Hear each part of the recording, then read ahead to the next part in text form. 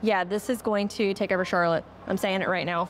My name is Brian Wallace, owner of Devil's Logic, and we have the most crushable beer in Charlotte. We are here today. Brian is going to tell us a little bit about uh, whenever he started Devil's Logic.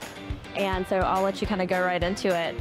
The main, the main thing was that centering our concept around community, uh, a good place to have discussion and, and, conversation. So it makes me extremely happy. Our head brewer Pedro is a phenomenal brewer. Um, his he loves brewing clean, crushable beers, uh, German style beers. All right, well now I have to try it. Let's, let's see. Cheers.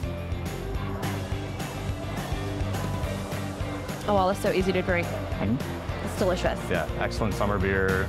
Yeah. Oh my gosh, maybe I will start drinking this rather than the IPAs. Yeah. So good. All right, now everybody just slam these beers.